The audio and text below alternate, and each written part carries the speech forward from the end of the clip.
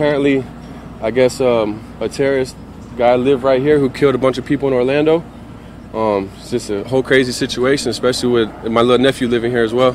As soon as I woke up at 7 o'clock, there were cops all up and down our road. It's scary. And then come to find out the bomb squad and the command post started coming. It's Woodland uh, condominium. It's very quiet. Like they've really cleaned it up the last couple years. There's a nice pond. It's very serene. One of my best friends lived in there for quite some time and very nice apartments. Everybody lived in there was very nice. Never in a million years would I ever expected anything like this.